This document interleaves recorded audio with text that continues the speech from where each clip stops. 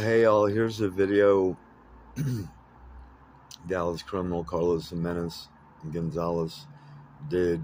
It was a near, it was a wreck, a near fatal wreck, because he failed to use turn signals. He was drinking, texting, and driving. He was texting, drinking, and driving, and failed to use signals and wrecked and destroyed my vehicle and my body. I was on the way to the VA. I left Dallas I was on my way to the VA. I was clean and sober. I was clean and sober, and I left Dallas and went I 30 going towards Fort Worth. Took the Hampton Street exit here, going south to Forest Avenue towards the VA. He failed to use turn signals, was texting, drinking, and driving.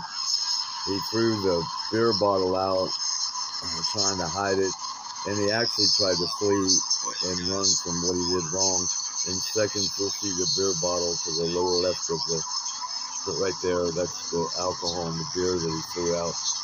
He uh, failed to use turn signals and was texting, drinking, and driving, wrecked and destroyed my vehicle and my body. And I was clean and sober on the way to the VA.